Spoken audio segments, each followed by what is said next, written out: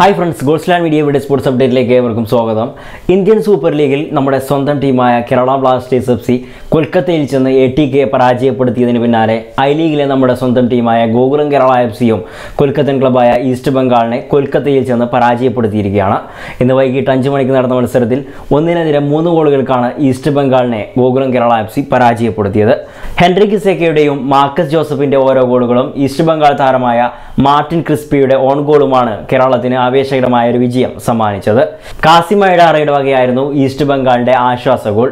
വിജയത്തോടെ ഗോകുലം കേരള എഫ് സിക്ക് പോയിന്റ് പട്ടികയിൽ ഒരു കുതിപ്പ് നടത്താനുമായി മൂന്ന് സ്ഥാനം മെച്ചപ്പെടുത്തി ഗോകുലം കേരള എഫ് പോയിന്റ് പട്ടികയിൽ നാലാം സ്ഥാനത്തേക്ക് ആറ് മത്സരങ്ങൾ കളിച്ച ഗോകുലം കേരള എഫ് സിക്ക് മൂന്ന് വിജയവും ഒരു സമനിലയും രണ്ട് തോൽവിയുമായി പത്ത് പോയിന്റോടെ പോയിന്റ് പട്ടികയിൽ നാലാം സ്ഥാനത്തേക്കാണ് ഗോകുലം കേരള എഫ് സി ഉയർന്നത്. കൊൽക്കത്തയിലെ കല്യാണി സ്റ്റേഡിയത്തിൽ നടന്ന മത്സരത്തിൽ ഗോകുലം കേരള എഫ് സിയുടെ ആക്രമണങ്ങളോടെയാണ് മത്സരങ്ങൾക്ക് തുടക്കമായത്.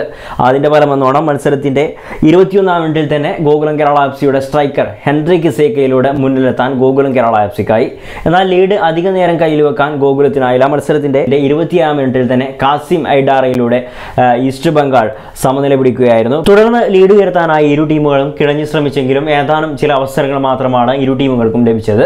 എന്നാൽ ലഭിച്ച അവസരങ്ങൾ വലയിലെത്തിക്കാൻ ഇരു ടീമുകൾക്കും സാധിച്ചതുമില്ല.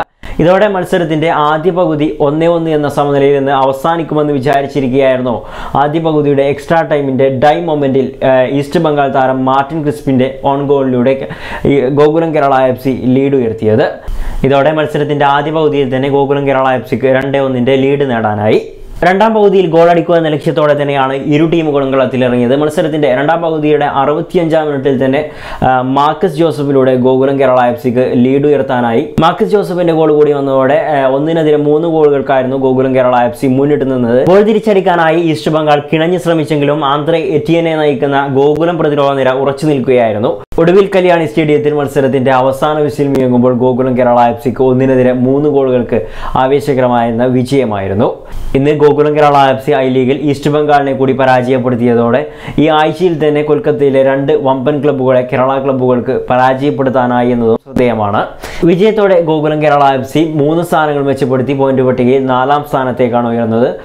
ലീഗിൽ ഇതുവരെ ഗോകുലം കേരള എഫ് സി ആറ് മത്സരങ്ങളാണ് കളിച്ചത്. കളിച്ച ആറ് മത്സരങ്ങളിൽ മൂന്ന് മത്സരങ്ങൾ ഗോകുലത്തിന് വിജയിക്കാനായി. രണ്ട് മത്സരങ്ങൾ ഗോകുലം കേരള എഫ് സിക്ക് പരാജയമായിരുന്നു. ഒരു മത്സരം സമനിലയിൽ കലാശിച്ചു. ഇങ്ങനെ പത്ത് പോയിന്റാണ് ഗോകുലം കേരള എഫ് സിക്കുള്ളത്. ഇനി ഗോകുലം കേരള എഫ് സിയുടെ അടുത്ത മത്സരം ഈ മാസം ഇരുപതിന് പോയിന്റ് പട്ടികയിൽ രണ്ടാം സ്ഥാനത്തുള്ള ലീഗിലെ ശക്തരായ മിനോവ പഞ്ചാബിനെതിരെയാണ്. കാത്തിരിക്കാം. മറ്റൊരു ആവേശകരമായ മത്സരത്തിനായി കൂടുതൽ കായിക വിശേഷങ്ങൾക്കായി യൂട്യൂബ് ചാനൽ സബ്സ്ക്രൈബ് ചെയ്ത് ബെൽ ഐക്കൺ ക്ലിക്ക് ചെയ്യുക. വീഡിയോ ഇഷ്ടപ്പെട്ടെങ്കിൽ ലൈക്ക് ചെയ്യുക. മറ്റൊരു കായിക വിശേഷവുമായി നമുക്ക് വീണ്ടും കാണാം.